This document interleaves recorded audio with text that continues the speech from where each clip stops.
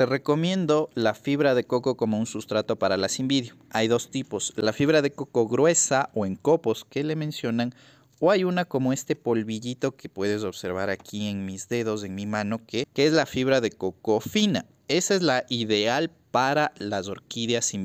Yo en este momento no he podido conseguirla porque en Ecuador estamos en un paro nacional, entonces no hay transporte, no me han podido enviarla y lo mejor en este caso es utilizar fibra de coco de cualquier tipo. Eso siempre nueva, que no haya sido usada previamente y que no contenga por el momento ningún tipo de fertilizante o abono añadido, que sea solamente fibra de coco o como en este caso también tenga la perlita o pómice también incluidos, que son dos agentes drenantes muy muy buenos.